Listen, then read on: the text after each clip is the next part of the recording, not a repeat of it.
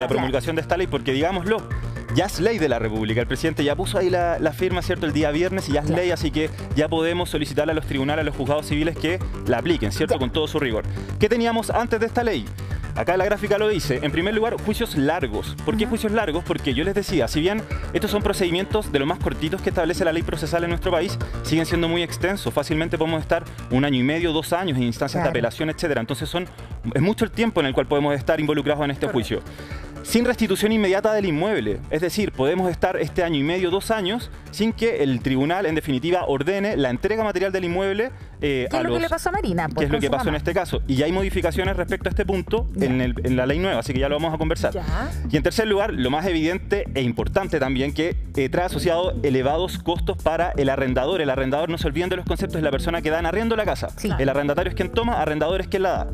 ¿Por qué elevados costos? Marina decía y adelantaba uno, ¿cierto? En el juicio ya tiene que correr con los gastos del juicio, el receptor judicial, pagar las notificaciones, eso lo tiene que pagar ella, evidentemente. qué raro. Pero además que no es el caso de Marina, pero debe ser el caso de cientos de miles de personas, muchos tienen que pagar los dividendos y esperan el arriendo para pagar la cuota del dividendo. Entonces tienen a su haber otro juicio, que es un juicio de cobranza del banco, que les va a embargar la casa porque no han podido pagar el dividendo. contribuciones, gastos comunes. Gastos comunes. Y el arreglo de la casa que te la dejan hecha imposible. Exactamente, que son costos mayores. Ojo, estos juicios siempre, en la gran mayoría de los casos, terminan con una condena que además de la restitución del inmueble dice pague todo lo que debe. Claro, pero sí. pero no van a pagar, pues si ya dijimos son en su gran mayoría gente sin vergüenza, ¿cierto? Que va en la vida con este, con este ritmo, la verdad es que no, no van a pagar.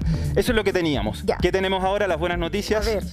Tenemos, en primer lugar, la gráfica lo dice, un juicio más breve, que no es lo que ocurre, que, es lo que no justamente ocurría con el juicio anterior, ¿cierto? Porque eh, ya vamos a entrar en detalle, pero los plazos se acotan bastante. Este juicio en rigor no puede durar más de tres meses, y mucho menos, incluso en diez días ya podemos tener y lograr un desalojo de la casa, e incluso la entrega inmediata al momento de la presentación de la demanda. Ya vamos a ir paso a paso, pero se acotan bastante los tiempos.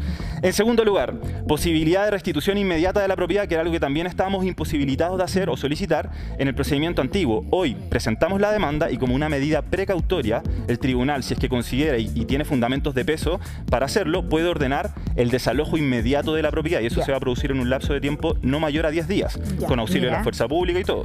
No es que llegue el GOPE, van carabineros, ¿cierto? Ahora, si la cosa se vuelve ahí color de hormiga, evidentemente podrán emplear algún tipo de fuerza. Y en tercer lugar, ahorro en costos, porque al ser un procedimiento más acotado, evidentemente no tenemos que asumir los costos largos de un proceso judicial.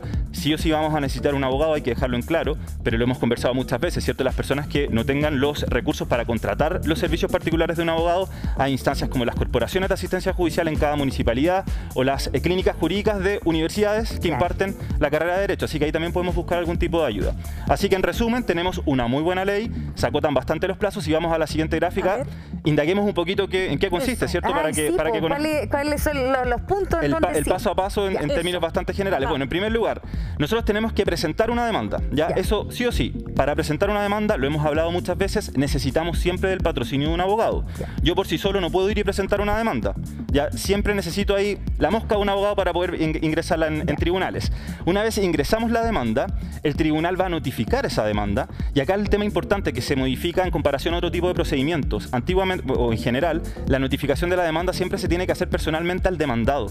Pero esta ley trae novedades. ¿Por qué? Porque se puede notificar la demanda a cualquier persona adulta del domicilio. Ya, perfecto. Así que cualquier persona. el hijo de 18 años recibe la demanda. Recibe la demanda y se, tiene por notificado. ¿Qué va a declarar el tribunal en ese momento? Va a declarar, eh, un, va, a emitir una declaración, ¿cierto? Que va a decir o paga o se defiende si es que tiene algo que decir al respecto en la demanda. Si es que la persona no paga o no se defiende o no comparece en ese periodo, se va a abrir una ventana de 10 días en la cual el tribunal, y acá lo importante y relevante, va a decretar el lanzamiento de la persona. Es decir, las personas van a tener que desalojar en un plazo de 10 días el domicilio. Y ese probablemente es la gran novedad que trae esta ley porque ya no vamos a tener que esperar el año y medio, los dos años, ¿cierto?, para lograr que las personas salgan de la casa, sino que en un plazo súper acotado.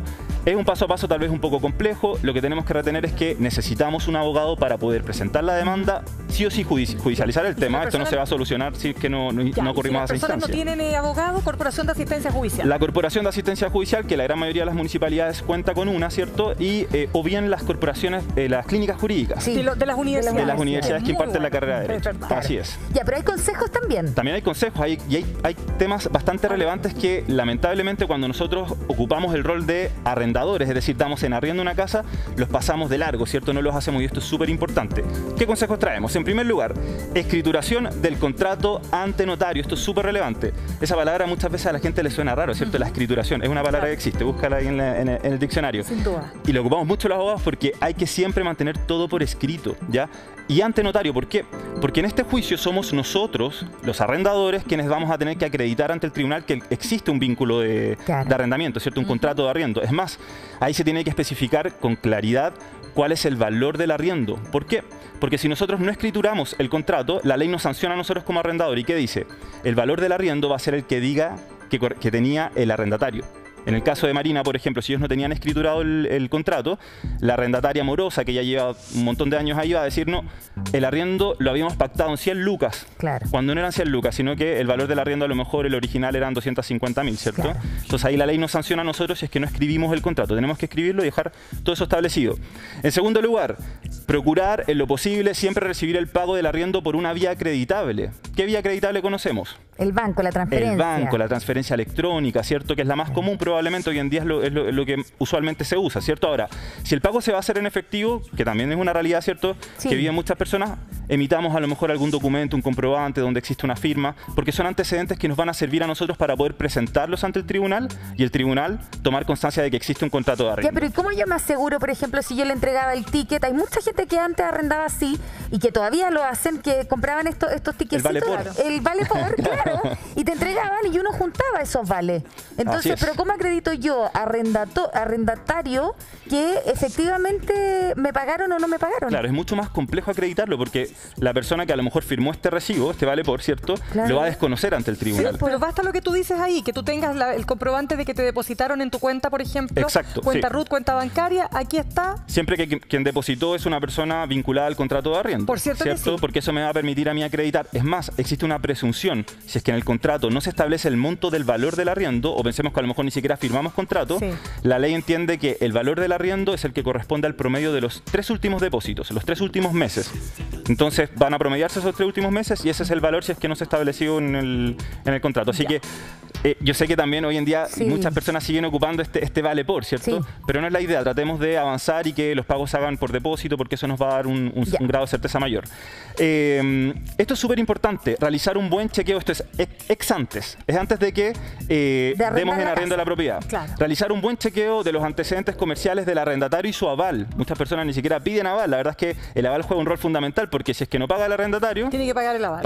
Y a veces piden dos avales, ¿ah? A veces piden dos avales, a veces piden eh, documentar el año completo, es decir, dejar cheques, ¿cierto? Y hay personas que eh, firman pagaré. La verdad es que son distintas herramientas que existen para poder asegurarse, pero fundamental, ¿qué podemos hacer en un buen chequeo de manera bastante sucinta? solicitar las liquidaciones de sueldo, o sea, en lo posible no arrendar la propiedad a una persona que no tiene trabajo, ¿cierto? Que sabemos también es una realidad para la contraparte muy compleja. Pero nosotros nos tenemos que asegurar si es que tenemos, queremos resguardar nuestras propiedades, ¿cierto? Entonces, hacer un chequeo donde solicitemos liquidaciones de sueldo, los pagos de cotización de AFP para ver si es que la persona está efectivamente empleada y su empleador paga eh, eh, periódicamente. periódicamente ¿cierto? las cotizaciones previsionales. El DICOM es un tema súper interesante además porque el DICOM no solamente sirve para ver las deudas, hoy en día en DICOM también se informan las personas morosas en contratos de arriendo. Interesante. Así que ojo si no paga, el, no paga el, arriendo también porque puede ir a parar a DICOM y sabemos las consecuencias que eso muchas veces trae consigo. Bueno, el certificado de FP la verdad es que son un, sinnúmero de, elementos que nos van a permitir a nosotros hacer un buen examen previo para, para el arriendo. Y finalmente, ojo con esto, que está, eh, yo me atrevería a decir, recientemente tomando vuelo, que son los seguros de arriendo. Hay empresas aseguradoras que ya están entregando y vendiendo este servicio, en el cual yo mensualmente pago un seguro, así como pagaría el seguro del auto, cualquier tipo de seguro, ¿cierto? Y en la eventualidad de que mi arrendatario no me pague, el seguro paga. Ah, pero espérame, ¿y eso es nuevo, Felipe? Se está dando bastante. Hoy en día existen bastantes aplicaciones, startups en el mundo inmobiliario que están haciendo de brokers inmobiliarios, hacen corretaje, etcétera, y están ofreciendo este servicio. Así que los invito a que se interioricen un poco porque puede ser una real alternativa, una buena opción eh, a la hora de tener que suplir este gran problema que implica muchas veces el no pago de la renta. Bueno, y nosotras te invitamos a ti